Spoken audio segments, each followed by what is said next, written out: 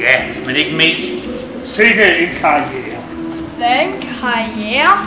Spørg vores mor. Jeg skal lære dig at sige sjofle ord. Au!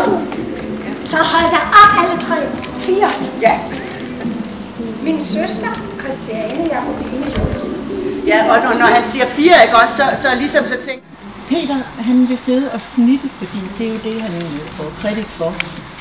Øh, så den kniv, øh, du skal tage, jeg havde ellers en ravkniv med, som kunne skære os alle sammen sønder. Men øh, når vi kommer dertil, så er kniven hos ældste herremand. Ja. Men den her forestilling er jo små historier. Så øh, lad os øh, begynde fra begyndelsen, og så tage historie for historie.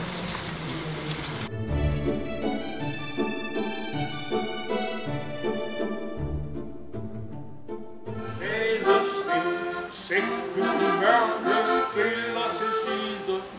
nu som vi i aften får, er sovet ud om hundrede år. Det nu, som vi i aften får,